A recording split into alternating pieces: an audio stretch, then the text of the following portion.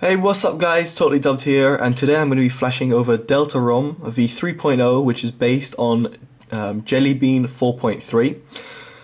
So what you want to first of all do is have the um, ROM on your internal SD card or your external SD card. In my example, I'm going to have it on my external SD card. Make sure you do a full backup of your phone, be that contacts or whatnot. For example, I've got it on titanium backup, and make sure that is on your computer.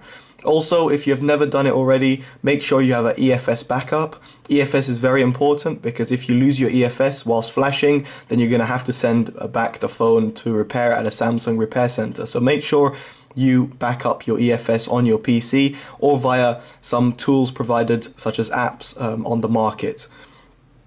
So to go ahead with this installation, what we're going to have to do is have um, Clockwork Recovery. And in this example, I have got Clockwork Recovery. To flash over Clockwork Recovery, it's very simple. You do it via Odin, um, or you can do it via mobile Odin, but I've done it via Odin on the PC.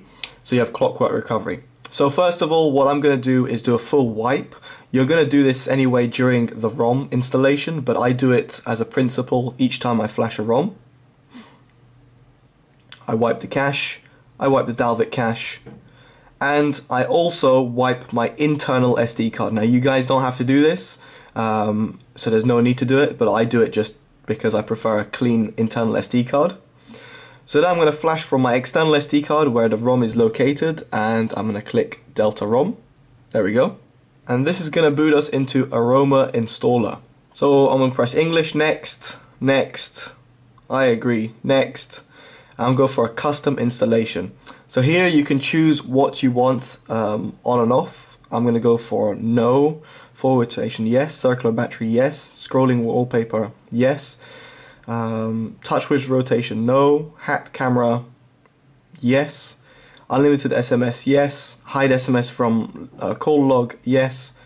Um, custom kernel, Googy Max 2 will be installed, and I highly suggest it, so I'm going to go yes. Custom boot animation, yes, it's just Delta ROM 1. Apps backup, I don't need it. EFS backup, as you can see, I was talking about before, I don't need it, but if you haven't done it already, I highly suggest it. Default desktop switch, I don't need it. Boot sound, I don't want it. Email exchange, I'll leave it as yes. Call recording, I don't need. Pop-up browser, no. GPS fast lock, yes. Install base ROM, you want to have install base ROM as yes. Change CSC, I'll show you the list of CSCs that are included, and a full wipe. Right, so as you can see, sometimes it freezes. Do not panic, don't worry about that. Just reboot into recovery, and to go into recovery, I go up on the volume key, home, and power. This happens with Aroma installer. It happens every now and then. It happens on every ROM that I've tried, um, including Omega ROM, which is very popular. But if that happens, just redo the steps. So I'm just going to quickly go through the steps again. So here you can see the CSC selection. You've got a long list of CSCs. I suggest BTU, which is the one included, so that's what I'm going to go for. And now you can choose the apps that you want to be installed with it. Press next and it will start installing. So just give this a little while. Once it's finished, press next and reboot the device. And just wait for it to reboot.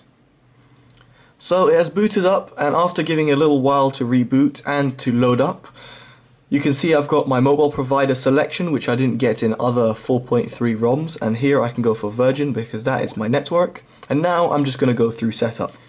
So we've finished setup and we've booted up um, to the phone. So I'm going to go and show you the the fact that we're on Android 4.3 and you, as you can see over there, I'm on Android 4.3, Delta ROM v3.0. Going to do another check. As you can see, my AP, my CP, and my CSC are as follows.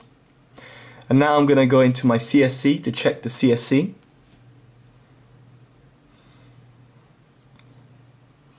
So here's the CSC select. We're going to try with root mode.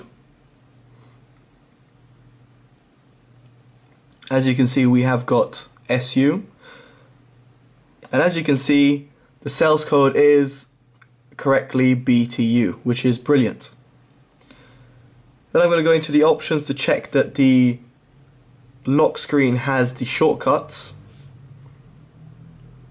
As you can see, we've got the shortcuts there as well.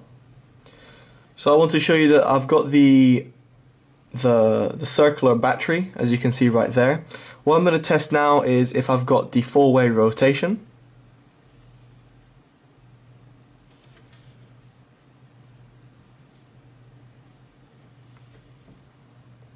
As you can see, the four-way rotation works perfectly fine. And what I want to download is Boeffla Sound.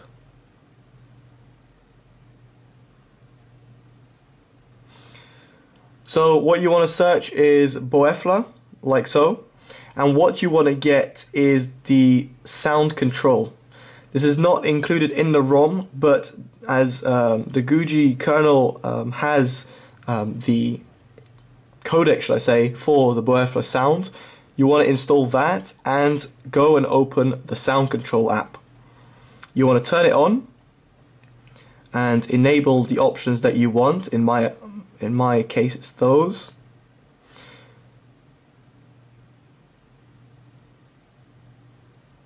Go into advanced and set on boot.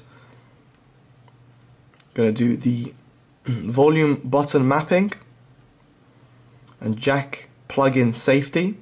And what you want to do is once you've enabled it, it would be good to reboot your device at least once so that it um, registers the change and that it applies it to the ROM and the kernel.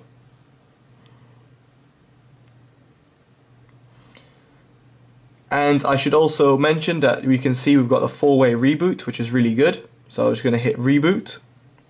And in fact, I'm going to show you something in recovery.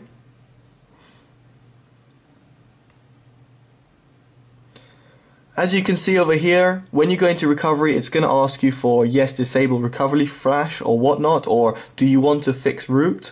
Just select no. And again, it's going to say, do you want to fix root? No. I'm just showing you that because some people might be concerned or worried about that when it comes up. Just select no. Doesn't matter if you press yes, but just select no because you don't need it. Right, so when you boot up, you're going to be presented with this little um, icon over here, and it's going to say Boeffla Sound Control Volume Service is running. That means it is running and it works, and believe me, you want to have it running because the sound quality you get from it is extremely good. So have that running and make sure you reboot it after you enable it so that it just takes it into effect and make sure you set it on boot. So there we go guys, that is a installation guide for Delta ROM. Hopefully you've liked uh, this video and it has helped you. Please do subscribe if you haven't already and do like this video or favorite it and share it with uh, other people that would be interested in the ROM. So far it seems really good, really snappy, it seems to work. There seems to be no force close problems or any sort of uh, problems like that. It seems um, extremely fast, I must say, um, a little faster than the other ROMs that I was used to. It could be because there was a lack of those um, those bloatware included but as you can see normally would be presented with those um, annoying uh, Vodafone apps that were included with the um, Voda release. And in this case we're not presented with any of these bloatware. So that means that ROM is nice and clean nice and small as well in terms of uh, for your RAM usage. I can try and check my RAM usage for you guys As you can see, if I clear the memory, 27 applications closed, drops down to 584, which is quite good for 4.3. So overall, my first impressions are really good. I'll let you know how its um, battery life goes and whatnot. But so far, very impressed and um, really happy with the ROM. Alright guys, take care. Totally dubbed out. Bye bye.